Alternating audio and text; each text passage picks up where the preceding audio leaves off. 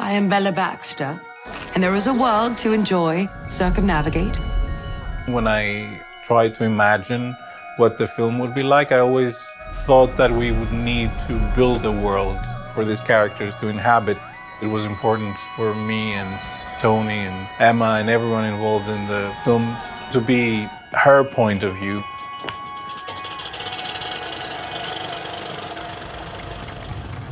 Yorgos does make films quite different to anybody else. Ektachrome was something Yorgos was keen on trying on Poor Things. Kodak Ektachrome is 35mm film that is processed for reversal as reversal.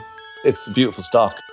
This film stock that Kodak uh, started producing again, Ektachrome, they made only on 16 millimeter up until that time, but we wanted to shoot it on 35, so they were kind enough to make it for us.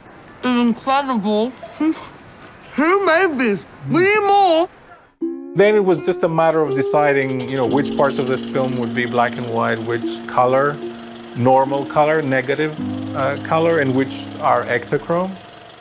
Outside would be Ektachrome because it has this kind of texture of very contrasty deep blacks. The kaleidoscopic nature of the color, it's a very, very colorful and a very, very contrasty stock. It pushes reality a bit, and that's what Poor Things is about. I am finding being alive fascinating.